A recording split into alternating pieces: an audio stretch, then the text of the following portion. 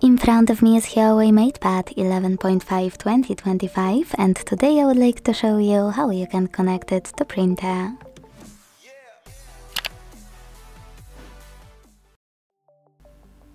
Begin by going into Devices Settings and tapping on More Connections over here.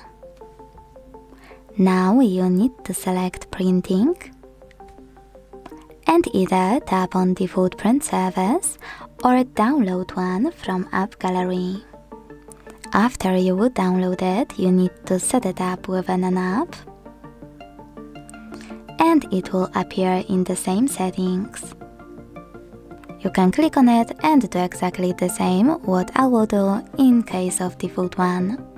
Tap, make sure sweater is blue and wait. Your device is now looking for a printer and when it finds one, it will connect to it. If you still can't connect, you need to make sure default print service, in this case default, is enabled and then tap on those four dots that will appear at the top right corner. Hit Add Printer and tap on this plus icon at the top right corner. Now you can input your host name or IP address and tap on Add to connect manually.